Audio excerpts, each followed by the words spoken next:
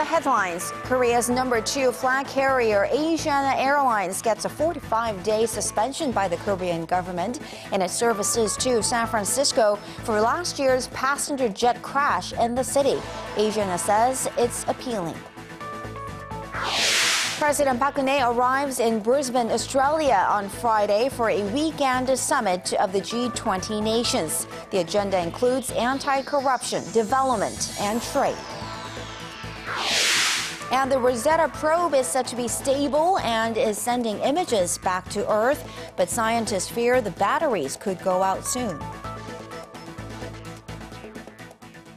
Happy Friday, everyone. Welcome to Arirang News, coming to you live from Seoul. I am Kang Chery.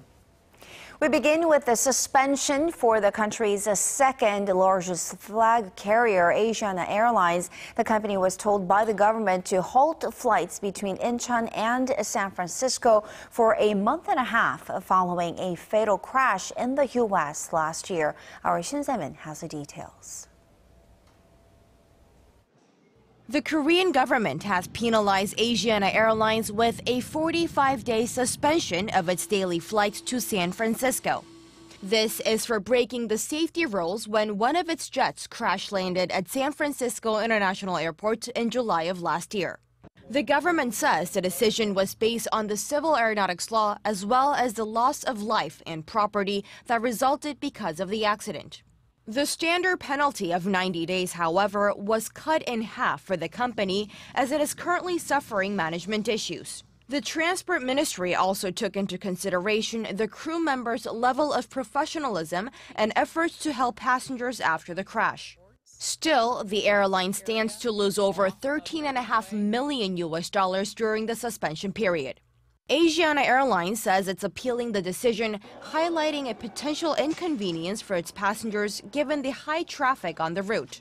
The company also said that incidents like this usually result in a fine, not a flight ban. The decision is separate from the earlier penalty of $500,000 issued to the airline by U.S. federal transportation officials.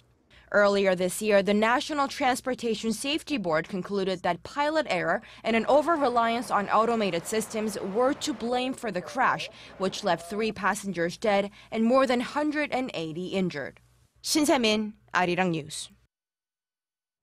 President Park Geun-hye carries on with her three-country tour to attend various multilateral gatherings this week, and her final stop is in Australia. Our presidential office correspondent Chu Sun gives us a rundown of the president's itinerary at the G20 summit. President Park has touched down in the Australian city of Brisbane, where she will join leaders of the Group of 20 nations to seek an action plan to achieve a collective economic growth of 2% above trend in five years. The G20 predicts it will help the global GDP jump by some 2 trillion US dollars and create millions of new jobs.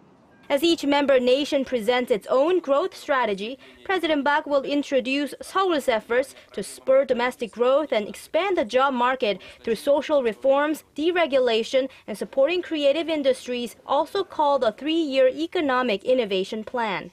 On the sidelines of the summit, the Korean president will meet the Saudi crown prince to seek out more opportunities for Korean firms to invest in the Arab country's nuclear reactor and infrastructure construction. Seoul will also likely ask Saudi Arabia to take part in Korea's project to establish itself as the oil hub of Northeast Asia. President Park is expected to hold talks with New Zealand Prime Minister John Key as well, where their two-way FTA negotiations will top the agenda. Having promoted her administration's economic and security policies to world leaders and highlighted Korea's contributions to global stability and prosperity, President Park will wrap up her three-nation tour and return home on Monday. Choi Yusun, Arirang News, Brisbane. North Korea says it will send soon uh, Choi Ryong-hae, currently seen as uh, North Korea's second in command, to Russia. Insiders believe the purpose of this trip is a meeting with uh, Russian President Vladimir Putin next week. Our Kwon explains what could be behind this visit. North Korean senior Communist Party official Choi Ryong-hae is headed to Russia as a special envoy for leader Kim Jong-un. Pyongyang state media reported this on Friday without specifying who he will meet or the timing of the trip. All that's known for now is that it will happen soon. Choi was one of the members of a high-level delegation that made a surprise visit to South Korea last month. Given his status, insiders speculate he'll most likely meet with Russian President Vladimir Putin to discuss the country's bilateral ties amid signs of their growing cooperative relations. The two are also expected to lay the groundwork for a future summit. Speculation about North Korean leader Kim Jong un's possible meeting with Russia could put pressure on Chinese President Xi Jinping due to declining North Korea China relations. A North Korea China summit never took place during Kim Jong un's three year ruling.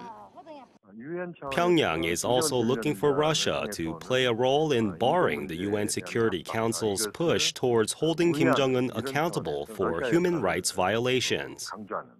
And on Russia's end, analysts say its efforts to boost bilateral ties with the North could be due to Moscow's growing isolation from the international community amid the ongoing crisis in Ukraine. As President Putin is scheduled to attend the G20 meeting in Brisbane over the weekend, chances are high that Choi's trip will take place the following week. Kwon So-ah, Arirang News. UN human rights investigator Marzuki Darusman has called for a concerted international pressure to bring about fundamental change in North Korea's human rights situation. Darusman also says that cooperation with the regime would certainly facilitate that process. Our Hwang Sung-hee tells us more. UN Special Rapporteur on North Korean human rights Marzuki Darusman says North Korea's release of three American detainees was one dramatic response to concerted international pressure on the regime and added more pressure will bring fundamental change in the North's rights situation.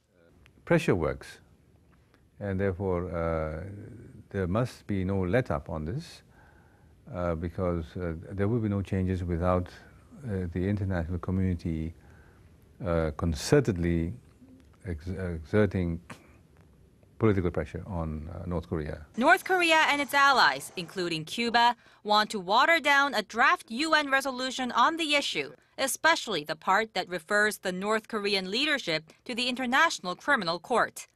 With the General Assembly due to vote on the resolution next month, the Darusman advised against any revision. Uh, any removal of the accountability clauses would affect a, a setback in efforts to pursue accountability. Torture, starvation, and enslavement are just a few of the widespread human rights violations against the 25 million North Koreans outlined in the Commission of Inquiry report. Darusman proposed a two-track approach that involves a vigorous pursuit for accountability and working with the Hermit Kingdom. A, a second track to the accountability track would have to be uh, cooperation with the regime in order to be able to uh, initiate uh, the beginnings of a long process to uh, improve the livelihood, the daily lives of uh, North Koreans. Uh, Do you believe that North Korea will cooperate if the case is taken to the International Criminal Court? If there is no cooperation, then the international community will have to uh, figure out how the accountability process uh, will be enforced uh, in spite of uh, the of non-cooperation on the part of the North Koreans. Hwang Sung-hee, Arirang News. In exactly 10 days from now, the Korean military will hold defense drills on and around Korea's Dokdo Island in the East Sea. This is an exercise that's been conducted twice a year every year since 1986 to counter Japan's ongoing uh, territorial claims to the island. Kim Hyun-bin has more. The South Korean military is scheduled to conduct a defense drill aimed at deterring trespassers on its easternmost island of Dokdo later this month. A government source said Friday that the drill is scheduled to take place on November 24th, and the goal will be to repel non-military forces that approach the island via sea or air. The Korean Navy will employ five to six destroyers and convoys, as well as some patrol planes and fighter jets. The official says the Marine Corps will simultaneously conduct a landing exercise on Dokdo using a UH-60 helicopter. The exercise has been carried out twice a year since 1986, and the latest drill took place in May. Experts say the exercise is carried out to prevent Japanese forces from landing on the island. Japan claims that Dokdo is part of its territory, though it never established its sovereignty over the island. Seoul reclaimed sovereignty over its territory, including Dokdo and other islands around Korea, upon its independence from Japan's colonial rule from 1910 to 1945. Kim Hyun-bin, Arirang News.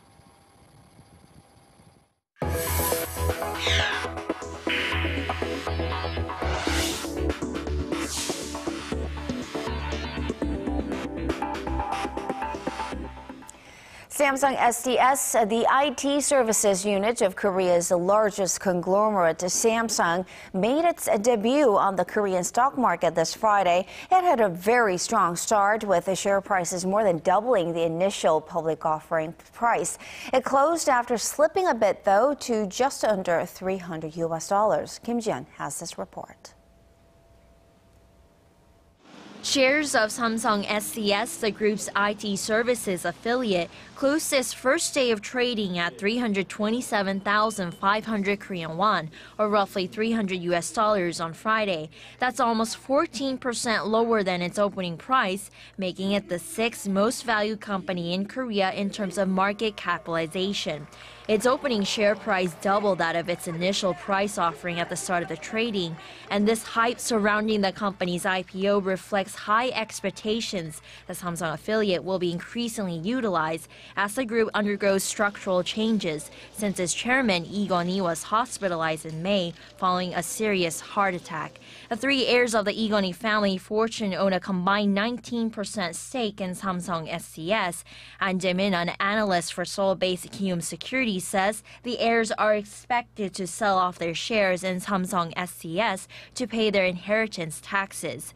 The analyst adds the future of the company looks bright, mainly due to its distribution business, and expects the share price to rise well past $400 even after the hype dies down. Samsung Group's other affiliate, Cheil Industries, is also going public later this year, raising the country's IPO volume to a three-year high to more than $2.7 billion.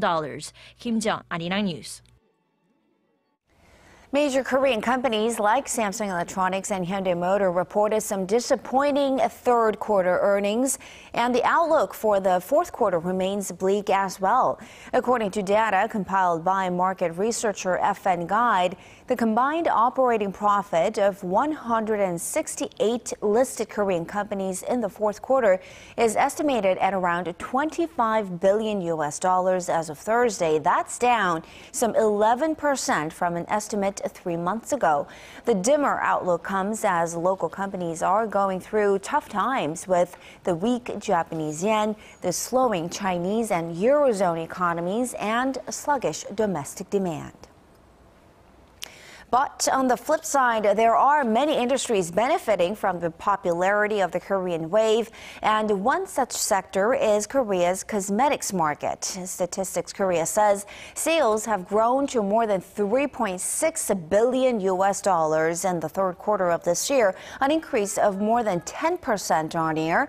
Experts say the sales surge can largely be attributed to Chinese buyers, with the popularity of Korean dramas leading to greater interest in Korean makeup products. The Korean cosmetics market is expected to reach $14.6 billion this year. To tackle the problem of fine dust particles in the Northeast Asian region, Korea, China, and Japan have decided to team up and to combat the problem together. The heads of the three countries' environmental research institutes uh, are meeting in Japan, where they agreed on the need to come up with a new means to control yellow dust and air pollution. To continue this uh, trilateral cooperation, uh, the representatives will meet again next year in Korea's southern city of Yeosu. A new ranking for national brands is out, and Germany has overtaken the U.S. to have the best national brand. That's according to German market research firm GfK. Germany's high scores were driven by its victory at the 2014 World Cup in Brazil. And after having claimed the top spot into, since 2009, that is, the U.S. now sits in second place, followed by Britain and France. The index measures the brand image of 50 countries in six categories, including exports, governance, uh, culture, people, tourism, and Im immigration and investment. More than 20,000 people in 20 countries were polled for this year's survey, and Korea was placed at 27th on the list. Now let's check in on the European Space Agency's Rosetta mission. After touching down on a speeding comet successfully, the probe is said to be stable and is sending images back to Earth. But scientists are fearing the batteries could go out soon. Ji Myung-gil tells us more. The Philae space probe that made history by touching down on a comet half a billion kilometers from Earth has achieved another remarkable first by sending back stunning images of the comet's surface. One of the photos released by the European Space Agency shows one of the lander's legs on the jagged, rocky surface of the comet. The agency thinks the lander could be resting on its side, possibly with one leg extended into open space, and concerns are rising about the probe's battery life. Philae appears to be sitting under the shadow of a huge crater wall, so scientists may have a hard time recharging its solar batteries. Scientists had been hoping for 6 to 7 hours of sunlight to charge the batteries, but it looks like Philae will only get a maximum of 2 hours of illumination during every 12-hour rotation of the comet. Under the current circumstances, Philae may cease to operate beyond Saturday. Engineers are thinking of repositioning the probe to maximize the lander's exposure to sunlight. Regardless of what happens in the coming days, the mission's priority will be on collecting as much information as possible from the comet. Researchers hope to pull up some subsurface material for laboratory analysis, Scientists believe comets delivered water to planets and may hold some answers to the origins of life and the formation of the solar system. Philae has a Twitter account with all the latest images from the comet's surface. Users can check them out by following at Philae 2014. Kim Young-gil, Arirang News.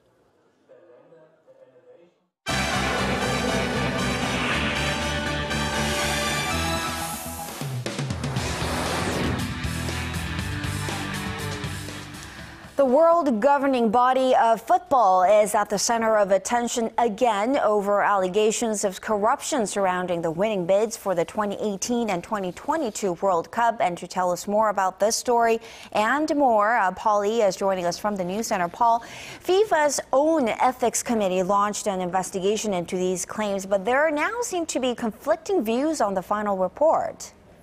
That's right. Following the probe, which took over a year to complete, the FIFA ethics report cleared Russia and Qatar of alleged corruption in the bidding process. But the man behind the independent investigation has slammed the report as incomplete and false, reigniting a storm of controversy over the sport's most lucrative event. Our Connie Lee has more. These latest developments are a farce, even by FIFA standards. The head of an independent investigation into alleged World Cup corruption says FIFA's summary of his report is flat out wrong. The report, published Thursday morning, cleared Russia and Qatar of any significant wrongdoings in their winning bids for the 2018 and 2022 World Cups. Just hours after the report was published, Michael Garcia, the man who spent two years on the investigation, branded the report erroneous and said he would appeal to FIFA. The head of the English Football Association told reporters that he thinks the FIFA report is a joke. It has made a bit of, of a mockery of the whole process. If the person who did the investigation says the report didn't reflect what he believed, I'm, I, you know, I'm a bit shocked by it all. I think it's now pretty ugly for FIFA. The FIFA report criticized England over its bid to host the 2018 World Cup, accusing it of disregarding the rules.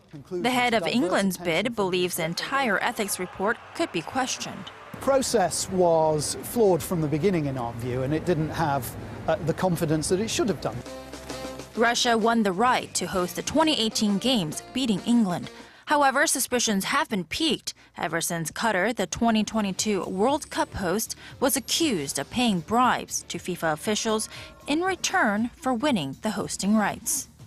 Connie Lee, Arirang News.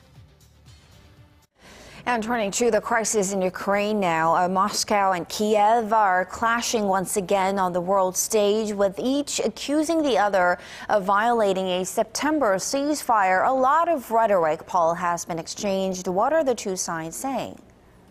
Well, the Ukrainian government says Russia is helping to resupply separatist forces in the east of the country for a possible offensive, while Moscow says Kiev is the one to blame for sparking tensions with the rebels. NATO has supported Ukraine's claims that Russia is sending military equipment and troops into the country's rebel held east. The Organization for Security and Cooperation in Europe also reported columns of unmarked tanks and troops coming from the Russian border. Speaking at a news conference in Berlin, the U.S. ambassador to the UN, Samantha Power, said Russia had committed blatant violations.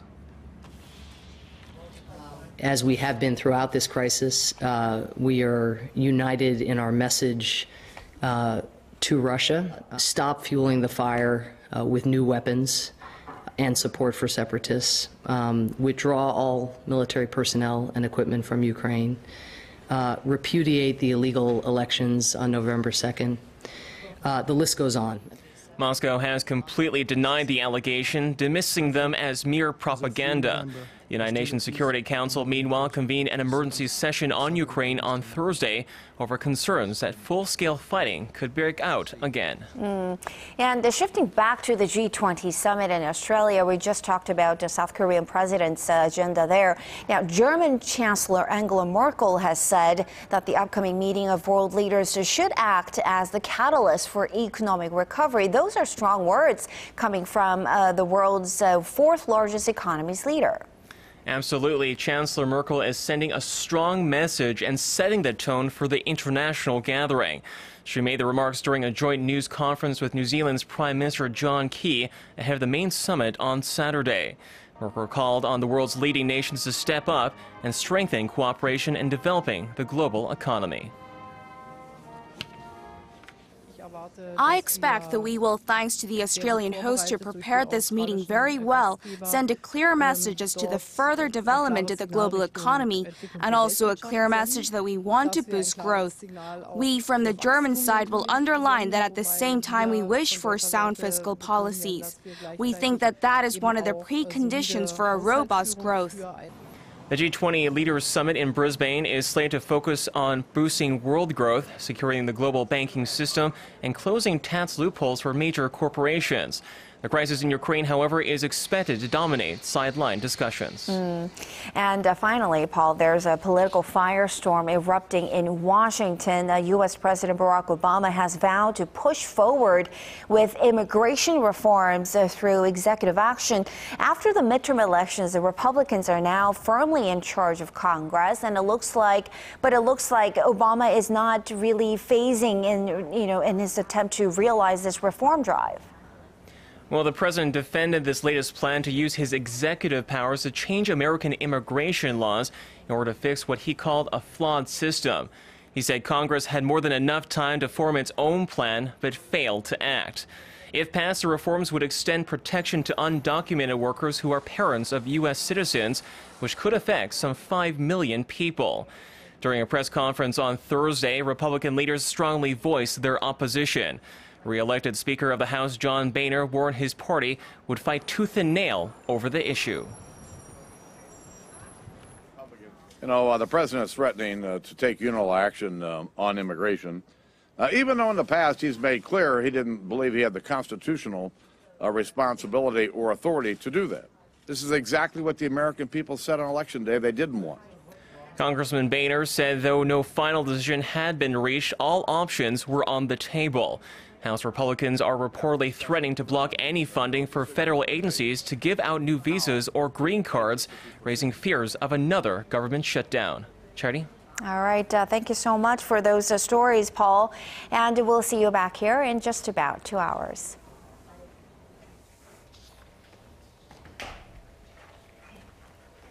And that will do it for this edition of Arirang News. Uh, thanks for watching.